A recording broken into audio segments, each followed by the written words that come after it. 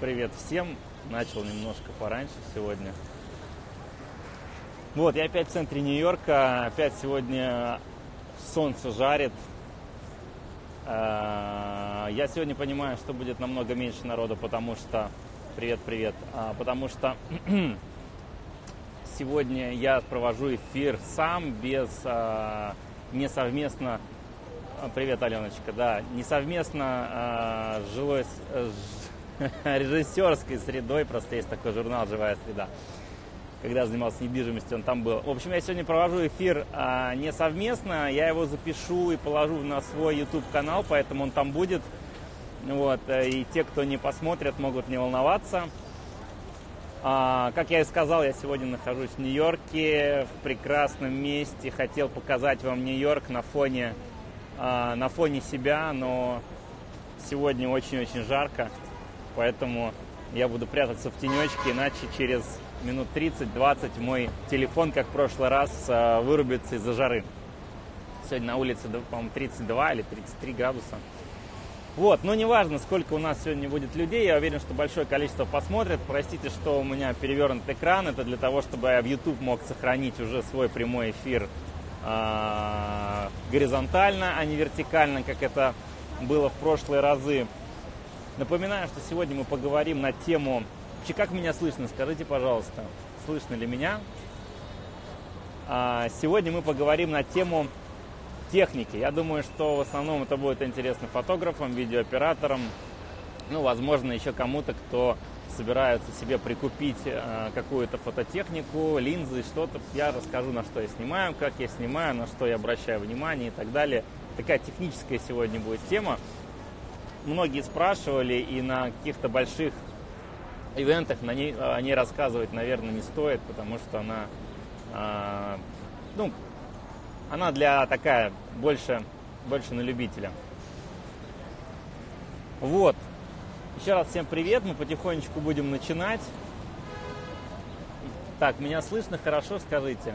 Я это еще раз повторяю, все записываю в основном для YouTube, потом я туда положу. Сейчас это просто прямой эфир чтобы можно было на какие-то вопросы ответить.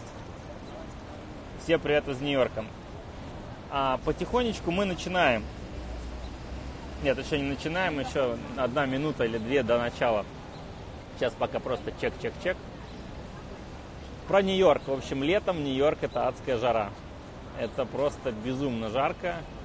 Это... Ну, мне нравится. А, когда идет дождь, здесь э, вообще потрясающая погода, город дышит, все выходят.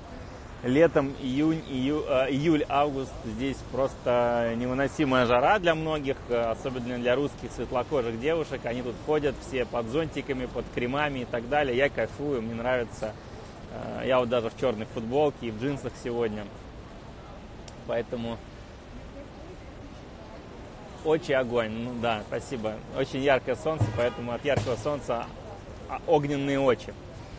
Короче, мы поговорим сегодня о технике. Я расскажу, на что я снимаю, на что стоит обратить внимание. А, сохраню этот эфир здесь, сохраню этот прямой эфир в своем YouTube-канале. Он будет, надеюсь, покороче, чем обычно. Я постараюсь быть максимально лаконичным. Поехали! Самый первый частый вопрос, который мне задают, это у меня подсказки есть частый вопрос, который мне задают, э, это какую технику купить для того, чтобы начать снимать. К сожалению, сейчас, именно к сожалению, все компании разошлись по э, видению будущего своего. То есть Canon, Nikon, Sony и так далее, они выбрали себе конкретную нишу. Если раньше все старались быть похожими друг на друга, и, в принципе, неважно, что ты себе купишь, то сейчас нужно понимать, куда какая компания движется максимально э, лояльна для пользователей сейчас, на мой взгляд, компания Sony. Хотя я пользуюсь Canon, но компания Sony максимально лояльна, то есть она в фотокамерах дает возможность и хорошо снимать видео, и хорошо снимать фото, и любые объективы подходят э, к камере без всяких переходников. В общем, э, кто еще не начал собирать свои комплекты, я собираю, точнее, я предлагаю обратить внимание на эту компанию. Вот, она максимально лоялен для пользователей, для обывателей. Что касается а, профессиональных каких-то решений, а, компания Sony, Nikon, они двигаются в направлении профессионального. То есть либо вы снимаете фото, вот вам хорошая камера, действительно она чем-то лучше Sony за те же деньги, либо вот вам Nikon для там, репортажей, для того, чтобы снимать какие-то фотокадры тоже, но с каких-то там, не знаю, войн, сражений. В общем, больше, на мой взгляд, она подходит для репортажников. Это, опять же, мое субъективное мнение. Какие линзы и вообще на какой диапазон динамический, э, ценовой э, стоит, э, на стоит обращать внимание? Значит, сейчас начальный комплект фотографа, который собирается начать работать, должен начинаться примерно от, наверное, 3000 долларов. То есть 3000 долларов это один простой объектив и одна камера. Дальше, дальше больше. Также э, вопросы, и фотографы знают, что есть несколько форматов, есть э, неполный формат, кроп формат матрицы, есть full, full frame, ну и есть средний формат, огромные матрицы за бешеные деньги. Э, я начинал с кроп матриц, пришел к full frame, и средний, средний формат это моя мечта. В общем, я рекомендую, конечно, для, для именно для фотографов стремиться начинать снимать сразу на full frame, потому что, на мой взгляд, картинка намного, намного более объемная, интересная и больше похожая на то, что мы видим глазами э, именно по объему. Вот. Но такие камеры начинаются от стоимости как раз где-то от 2000 долларов и выше. А, сами камеры я не буду называть, вы уже сами посмотрите. Как я сказал, посмотрите камеры Sony, если кто еще не купил, для а, в районе 2000 долларов и выше, не ниже. Что касается объективов, это больная тема у всех. Э, конечно, самая красивая картинка всегда у фиксированных объективов. У меня они есть все, то есть от 14 мм до 135 мм, вся диапазонка фиксированного фокусного расстояния. Но дело в том, что если вы э, едете, путешествуете, если вы только начинаете снимать, если вы хотите еще не определились с направлением съемки, то, конечно, я рекомендую покупать вам а, зумы. Первый, первый зум. Вот. А, это, конечно, дорогое удовольствие, но э, динамический диапазон зума, чтобы был 24-70 мм, ну или плюс-минус есть 28-75 в разные компании. В общем, от 24 до 70 мм покупать первый свой объектив для того, чтобы вы могли снимать и природу, и людей, и портреты, и уже будете понимать, то есть это такой универсальный объектив, который я здесь, в Нью-Йорке, до сих пор даже на коммерческих съемках пользую очень много, потому что при высоком темпе съемки даже с помощью ассистента нет времени переодевать фикс-объективы. Вот. Поэтому камера в районе 2000 долларов и объектив, ну, если это от Sony это тоже около 2000 долларов. Если это аналог какой-нибудь Tamron, это там около 1000 долларов. То есть вот 3000-4000 долларов это самый начальный комплект. В дальнейшем вы, конечно, развиваетесь и уже выбрав себе направление, это репортажная фотография, это свадебная, которая включает в себя все и репортажную съемку, и предметную съемку, и портретную съемку. То есть день свадьбы мы все это делаем. И мы банкетный зал снимаем, то есть это э, съемка интерьеров. Кто-то выбрать себе снимать э, цветочки, растения, какие-то детали. Вот, от этого вы уже будете отталкиваться и приобретать себе объективы в ту сторону, в которую нужно. Что касается объективов класса L, ну, как у Canon, то есть люкс класс и ниже класс. Первое, на что стоит обратить внимание, это... Что-то мне написали. Супер. Первое, на что стоит не обратить внимание, вам стоит обратить внимание, это на э, то, что объективы намного важнее, чем камеры. То есть линзы, они э, обновляются реже. То есть я, например, э, у меня до сих пор есть линзы, которые использую, которые я купил 8 лет назад. И, в принципе, лучше что-то особенного, лучше ничего не вышло. То есть линзы вы будете пользоваться много-много лет, а камеры выходят там в промежутках, ну, вы захотите подороже что-то себе купить, то есть Sony камера раз в два года выпускает, Canon раз в четыре, бывает чаще, то есть камеры вы будете постоянно менять. Поэтому я советую вам, если у вас есть возможность, не экономить на объективах, экономить немножко на камерах можно. Особенно, когда вы только-только начинаете снимать. То есть, например, мой, мой комплект начальный сейчас – он около 5-6 тысяч долларов. Это вот один, одна тушка, одна камера и один объектив. Дальше объективы стоят в районе полторы-две тысячи долларов. Собственно, оттуда в том числе складывается ценность фотографа, когда меня приглашают, например, на свадьбу, я приезжаю с большим количеством техники, и э, у меня в, в сумке лежит порядка 12-15 тысяч долларов. И, конечно, такой фотограф не может брать за съемку там тысячу долларов, э, потому что просто уронив что-то, уронив вспышку, которая стоит 500 долларов, уронив объектив, который стоит до 2000 долларов – а, можно пару, две-три свадьбы снимать бесплатно. Это все копилось годами, я покупал каждый год один-два объектива. Недавно услышал прикольное выражение, люди сказали, если э, вы не хотите, чтобы ваш э, сын или дочка там были там какими-то наркоманами или спускали деньги на что-то такое, купите ему фотокамеру. Да, потому что если человек увлечется фотоснимками, это каждый год он будет копить деньги на объективы, на новые камеры, на новую технику. Это огромные-огромные на самом деле деньги и время на это уходит. Поэтому я этим живу, я накопил свой комплект, сейчас я подумаю его поменять. Я действительно думаю уходить а, с компании Canon. Это я расскажу чуть попозже почему. В общем, поехали. Стремитесь купить хороший объектив, особенно начальный, чтобы у вас была красивая картинка, чтобы он был быстрый, резкий и так далее, если вы действительно планируете заниматься фотографией. На камере можете сэкономить, берите Sony там до 2000 долларов, э, Sony A7 III, которая шикарная камера за эти деньги, беззеркальная.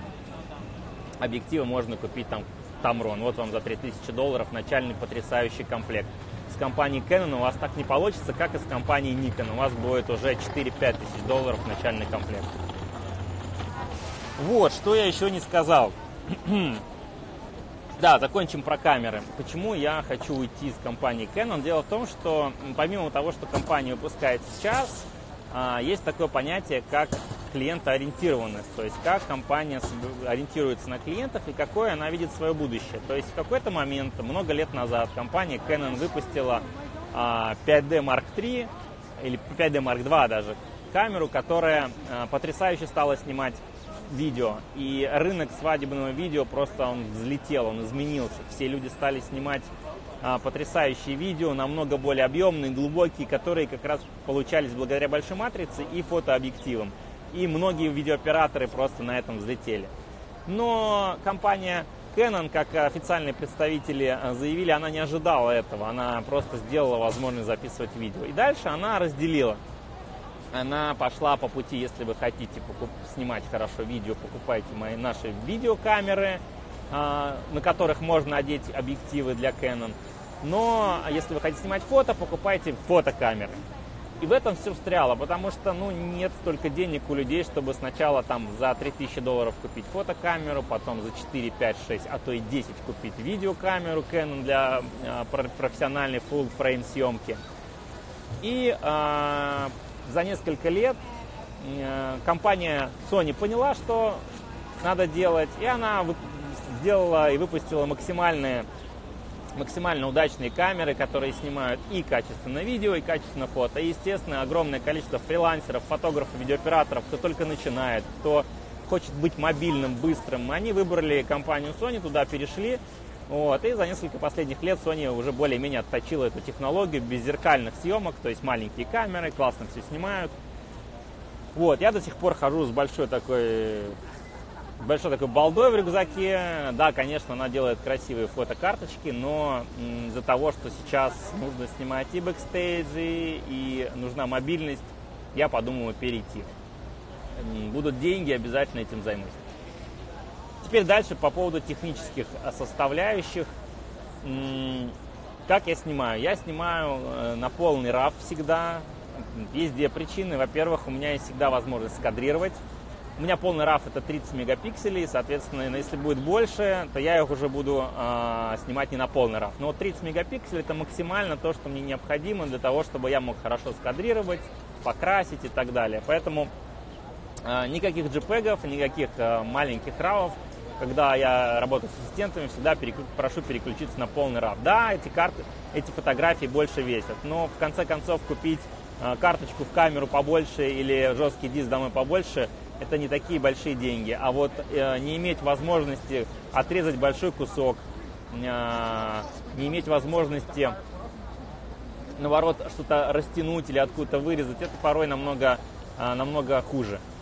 Вот, то есть уменьшить фотографии всегда можно, а увеличить ее нельзя. Поэтому иногда на какой-то фотографии я вырезаю просто портрет человека, хотя это был общий кадр. Потому что только портрет там потрясающий.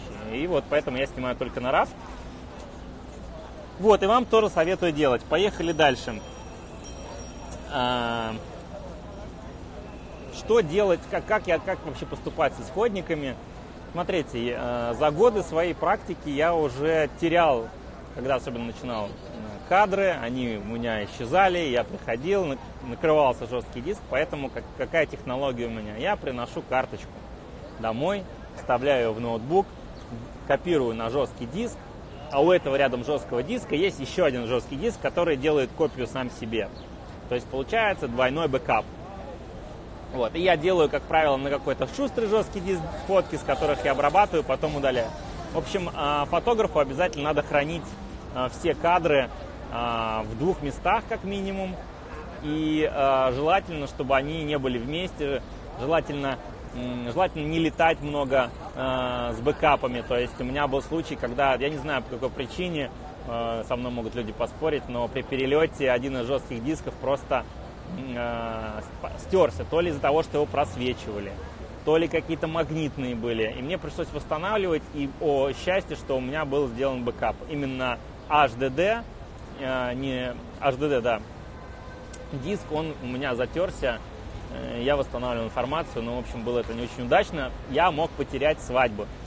А я путешествую довольно много в свое время. Сейчас свадеб у меня таких поменьше, потому что перебрался в Нью-Йорк и начал заново карьеру фотографа. Но я много летал, и а, я вам советую не экономить а для перевозки фотографий, видео.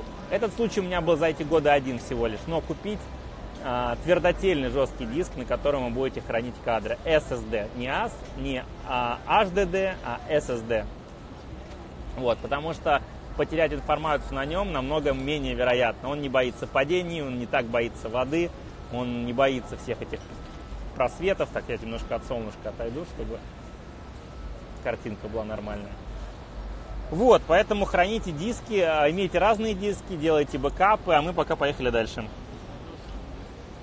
Что касается дополнительного света, если в двух словах, привет, привет, а, что касается дополнительного света, который я использую, как не от солнца спрятаться, оно двигается постоянно. Сейчас чуть-чуть пересяду. Так, вот. Что делать какие, а, какой свет я дополнительно использую? Ну, на самом деле, а, самая сложная вообще съемка, на мой взгляд, это свадьба, потому что тебе приходится таскать все оборудование. Ты не знаешь, будет ли дождь, будете ли вы много снимать в помещении, какой будет свет в помещении. То есть огромное количество факторов, которые заранее не предугадать. Если вы планируете съемку в студии, там можно вообще один объектив, одна камера. А, потому что вы знаете, что там будет. Либо дневной свет, либо у вас там будет если вы снимаете дома, понятно, что можно привезти зонтик со вспышкой на всякий случай. Но на свадьбу приходится тащить все, и зачастую больше половины этого не нужно. Вот, поэтому, а, но для начала, а, что нужно иметь с собой всегда на съемке? Первое, это самое мое любимое, это то, что можно... А, да, я экран перевернул, я раска- рассказывал, потому что я потом буду загружать это все в э, YouTube, и чтобы это было нормально. Ну и я, собственно, видите, больше, вы тоже можете перевернуть. В общем, я рассказывал про самое любимое мое – это отражатели. Ребята, берите ассистента, учитесь пользоваться отражателем. Я могу получить абсолютно любую картинку. Поставили человека в тень, а, а, ассистент с отражателем светит из, э, солнечного места, дает пучок, и вы получаете классную картинку. Вы всегда можете снять тени, поставив его вот так. Вы всегда можете на просвет на солнце поставить его рядом, если он белый большой на просвет, и смягчить сон, солнечные лучи. То есть отражатель – это та штука, на, э, которой очень часто пренебрегают или не умеют пользоваться. Я бы даже дал огромный мастер-класс, наверное, погулял бы по каким-нибудь солнечным и пасмурным местам а, с группой людей и показал, как пользоваться отражателем. Миллион способов. Миллион способов это делать. Я вам советую покупать отражатель круглый, овальный, побольше диаметром, брать ассистента и работать. а, работать с ним, вы получите совершенно другую картинку. Просто ставьте человека, светите снизу, сверху, смотрите, как меняется лицо, как меняется падение лучей, поворачивайте человека так, опять работать. Отражатель – это первое, с чем нужно научиться работать. Я вас призываю к этому, не игнорируйте. Очень мало кто умеет. Все обычно в студии поставят, дай бог, вот так, чтобы отра... смягчить тень и все. С отражателем можно создавать тень, с отражателем можно создавать контровой свет, с отражателем можно смягчать солнечный свет. И можно делать очень много интересных вещей, поэтому не пренебрегайте этим. Второе. Я всегда использую а если я использую, то я использую настоящие кэноновские накамерные вспышки, которые пристегиваются. Почему я не использую китайцев? Как показывает моя практика, а, китайские вспышки, это опять же моя практика. Возможно, есть какие-то уже high-level, там а, мне многие фотографы говорят, что есть, они их рекомендуют. Фишка в чем? вспышка это не просто какой-то пучок света, который прилетел. Если вы работаете на мероприятии, если вы работаете на свадьбе, он должен прилететь определенной мощности с правильным замером. То есть, если вы снимаете в режиме ETTL, свет должен отразиться от объекта, подать информацию о следующем выстреле, чтобы камера понимала, чтобы вспышка, ну и сами понимаете, все это делает, все это делают мозги. То есть мозги камеры и мозги вспышки. И когда китайские мозги, э, они говорят на китайском с, с японской, с японской э, Canon, то не всегда они быстро договариваются, вы можете получить пересвет, недосвет и так далее. Если статично ставить и в режи, с режиме мануала, то можно использовать другие вспышки. Но именно при... Сейчас ветер подул. Но именно при э, съемке активностей каких-то, когда у вас баш... висит этот башмак сверху на камере. Используйте, старайтесь, покупайте, не экономьте, настоящие. Они работают в разы лучше, дольше, мощнее. А, и у меня несколько раз там кэнонские вспышки падали, и только один раз одна она разбилась, поэтому и надежней. Хорошая вспышка стоит где-то 500 долларов, имейте это в виду. Вот, что еще могу сказать? Со вспышкой тоже нужно проводить уроки. Я был на многих уроках, называется уроки по, стробос, по стробу. Короче, вспышка по флешу. А, вспышка – это прибор, с которым нужно уметь владеть но а, научить человека владеть вспышкой на каком-то занятии почти практически невозможно. Ему можно там объяснить, но его нужно брать с собой и показывать, в каких случаях, куда она повернута, что вы это делаете. То есть вот на свадьбах у меня, кто со мной ассистировал, все знают, что я снимаю всегда почти со вспышкой, которая повернута в стену или в потолок назад. И я всегда перед тем, как сделать кадр, поворачиваю, смотрю, что происходит сзади, куда она, как отразится. И люди немножко, кто меня видел, особенно клиенты, они немножко в недоумении такие, а что, куда он смотрит, что там на потолке. Вот, я подглядываю, куда отразится вспышка. Потому что бывают люстры, бывает какая-то там красная картина, и обратно вернется красный свет. С этим надо учиться тоже. Э, пишите мне, если есть желание, сделаем такой целый урок. Сегодня у меня, в общем, такое вводное по поводу э, технических э, составляющих. Что еще? Вспышки, соответственно, зонты, какие-то более сложные штуки нужно использовать, когда вы научились работать а, уже с обычной, с обычной накамерной вспышкой. Вы понимаете, что и как работает. Для того, чтобы делать какие-то студийные кадры, идите в студию, там работайте со светом. А, любой фотограф, на мой взгляд, с чего он должен начинать, это учиться работать со светом. И он должен понимать, что такое рефлекс. Вот видите, светится, у меня лицо, подбородок стал светиться белым-желтым вот я снял тени. Вот, то есть это, это все человек должен научиться понимать, как получить ту или иную картинку. Как, как работать с флагами. Флаги это черные, это как отражатели, которые наоборот убирают где-то свет. Например, а, когда снимают кино, используют часто большие на просвет отражатели, рефлекторы и флаги черные, чтобы снять какой-то свет. То есть, например, вот видите, я сейчас вот на солнце вот так, если бы я снимался в кино, я бы вот куда-нибудь, где там, вот, э, большой флаг можно было поставить как-нибудь вот, вот так вот, чтобы, видите, у, у меня не было вот этого вот, да, ставится флаг, и ты, ты уже общаешься такой более мягко подсвеченный. Поэтому учитесь, развивайтесь, приходите на мастер-классы, не экономьте свое время. Поверьте мне, а, намного быстрее кого-то послушать, как это делается, чем а, путем экспериментов долго-долго понимать, как это делал я когда-то. Поехали дальше. А, по поводу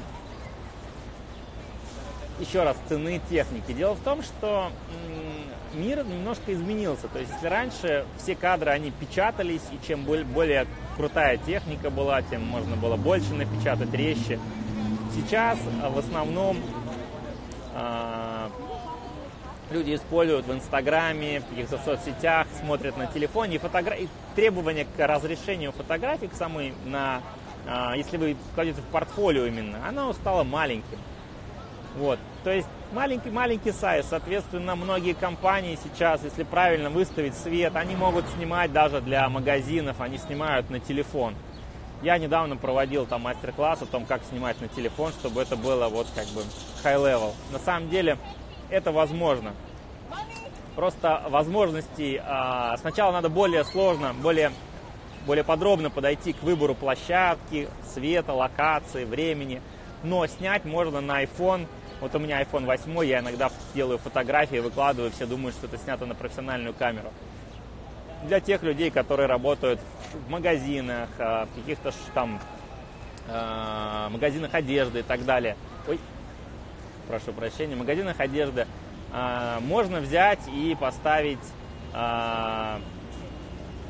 поставить на вот на такой же штатив буквально фото, обычный iPhone, выставить свет, и просто сам магазин будет фотографировать своих моделей там на iPhone и выкладывать это в Instagram и будет вести, будет это все красиво, удачно смотреться. Поэтому с точки зрения технической стороны, вот, самое важное научиться работать со светом, либо просто пригласить такого чувака, как, как я, который настроит свет, э, выставит его, и после этого вам не нужно будет обращаться к фотографу, он настроит вам фильтры, как, как включать на телефоне, и у вас будет классная картинка для вашего магазина, там, для вашего ресторана, для... Вот. Это все возможно сделать. Нужен просто человек, который умеет работать со светом. Поехали дальше. А, бам-бам-бам-бам-бам. Ну и, наверное, подойдем а, к такому а, ближе уже к концу. Смотрите, мы обсудили, какие камеры я рекомендую, на что стоит обратить внимание, что стоит брать а, именно зум-объектив для первого использования, что стоит а, фиксы, конечно, фиксированные объективы снимают лучше, но когда вы попользуетесь зумом, вы поймете, к какому фокусному расстоянию, типу съемки вам а, больше и интереснее хочется а, подходить. Мы теперь немножко, я рассказал, да, про отражатели, что это обязательное, это учитесь, в этом у вас будет совершенно другое качество снимков, в любую погоду, в солнечную нет. Учитесь работать со вспышкой, со вспышкой можно учиться работать прямо дома у себя в квартире, пробуйте, поворачивайте, снимайте, вазу поставили, одели вспышку, повернули в эту сторону, в эту, в эту, и смотрите, как падают тени, разглядывайте. Вот. Что еще? Еще это на самом деле сумки это больная тема для фотографов. Раньше я не придавал значения. Я очень любил, знаете, стильные сумки, там National Geographic, который такой на бок вешается. Ты идешь такой весь стильный, красивый. Но в итоге заканчивается это тем, что ты ходишь вот так, потому что у тебя постоянная нагрузка идет. Это так, это не знаю, в 20, может быть, 20 лет это смотрится смешно, кажется, но когда тебе 30 лет, то ты понимаешь, за каждый день ты вешаешь на одну и ту же а, на одно и то же плечо сумку, у тебя это все перекашивается, у тебя мышцы пытаются восстановить вот это вот. Ты, а, а, у тебя объективы здесь висят. Да, это удобно, когда пару объективов в сумке ты вытащил, обратно засунул, но проблема со спиной, кто смотрел мой прошлый эфир, тот знает, что там были за проблемы серьезные. А, совершенно неудобная мобильность, то есть когда у тебя 7 объективов, эту сумку, ну не так же две сумки вешать. Следующий мой шаг был это рюкзак. Я купил себе рюкзак. А, как, по каким принципам я рюкзак выбрал? Ну, во-первых, конечно, он должен быть удобный. Да, конечно, чтобы сделать кадр, его приходится уже снять полностью. Вот. Так как я много путешествую, и несмотря на то, что даже в Нью-Йорк считается одним из самых безопасных городов э, в Америке, несмотря на это, я покупаю рюкзаки всегда с внутренней загрузкой. Внутренняя загрузка это когда а, вы снимаете, и открываете его со стороны лямок, и там лежит ваше оборудование. Для того, чтобы вы смогли спокойно перемещаться по Индии, по Египту, что никто не мог сзади достать вашу камеру, пока вы не снимете рюкзак. Это очень важно. Такие камеры, а, такие сумки, точнее, я про нее как-то рассказывал, у меня выложен тоже на ютубе ролик. А, я очень рекомендую на них переходить для тех, кто а, хочет быть мобильным, быстрым и так далее. Но вот это вот рюкзак у тебя висит, который весит порядка 20-27, бывает до 30 килограмм, ну в среднем это 20-25 килограмм. Вот. И ты тоже постоянно устаешь при перелетах, везде. Это очень тяжело. И следующий шаг, который, а, ну видите, я как старик двигался, да. Следующий шаг, который я сделал, я а, взял себе чемодан фотографический, там, или как чемодан для фотографа на колесиках. Это самое лучшее, что само произошло. Во-первых, ты разгружен. Во-вторых, ты во всех самолетах, ты просто ты не, ты не, не тащишь его вот так вот, когда между рядами идешь. Ты просто его поставил рядом с собой и все. Его дал ассистенту, ассистент носит этот чемодан, еще на него что-то можно повесить. А, в общем, теперь я работаю только с чемоданчиком на колесах, и это, они есть очень крутого уровня. Они есть действительно э, удобные, стильные. Но не забывайте, самое важное для вас это А, это ваше здоровье, и Б, это защищенность вашей техники.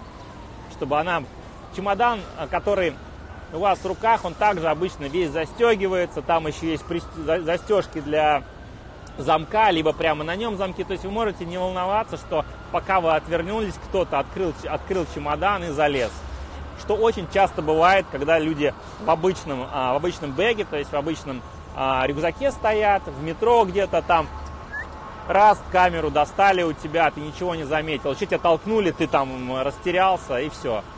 Вот. А, я, к счастью, дай бог, у меня такого никогда не происходит, никогда у меня не воровали технику, тфу надо постучать. Вот. Но я знаю много фотографов, кто оставался без камеры, и это, ну, представьте, это как, как а, водитель водитель, не знаю, лимузина, у него украли лимузин. То есть человек не может зарабатывать деньги, человек теряет огромные деньги.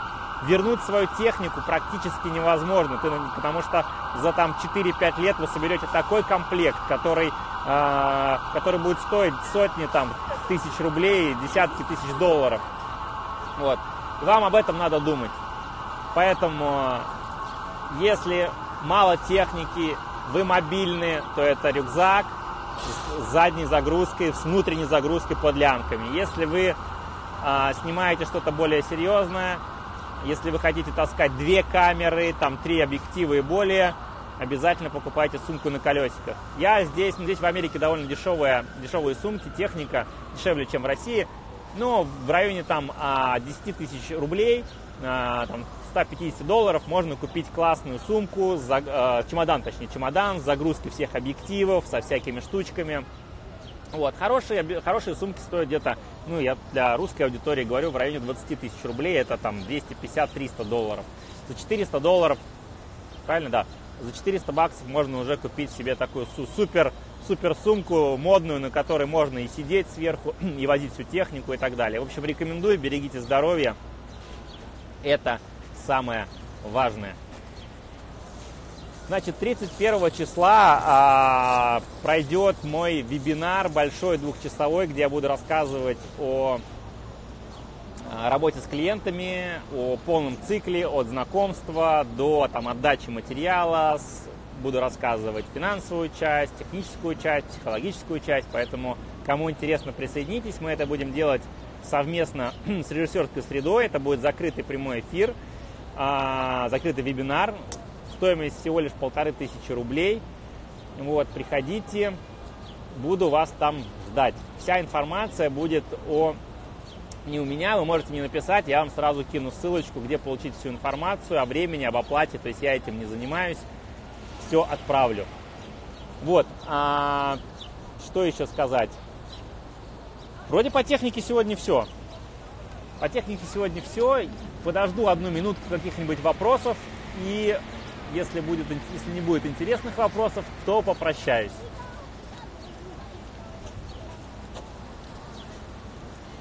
Так, пока вы мне, кстати, пишете, я еще а, расскажу одну интересную маленькую историю, которая со мной произошла. И это связано с техникой. Дело в том, что что такое, что такое вообще техника? Техника, профессиональная техника отличается от любительской не только то, как она снимает, то, как она эксплуатируется. Например, как-то раз так, а я уже сказал, посмотрите в начале, я сейчас сохраню, я говорил про Sony как раз камеры, что я рекомендую сейчас покупать именно их. А, значит, как-то раз я, меня просто на какую-то маленькую съемку позвали.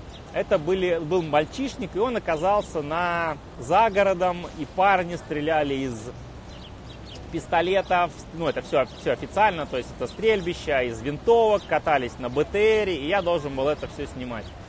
Вот, все было круто, но пошел дождь. Пошел дождь, и когда ты оказываешься с камерой на важной съемке, а, льет дождь, летит грязь.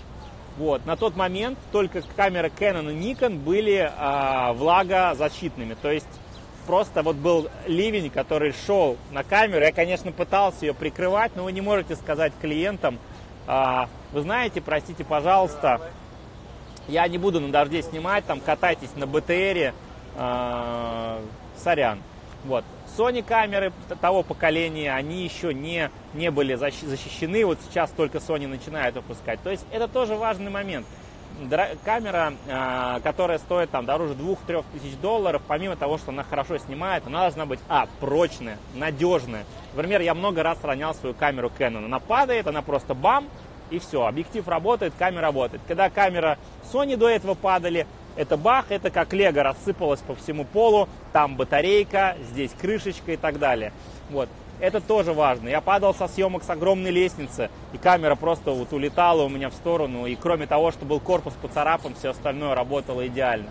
Вот в этом как раз ценность камер Sony, ой, ценность камер Nikon и Canon того времени. Сейчас они, конечно, лучше, крепче еще, а, Sony подтягиваются, но имейте в виду, что если вы хотите снимать какой-то какой-то репортаж живой, ездить на какие-то какие события, будьте готовы, что у вас камера упадет, что у вас камеру толкнут, что у вас камера, что-то с ней случится.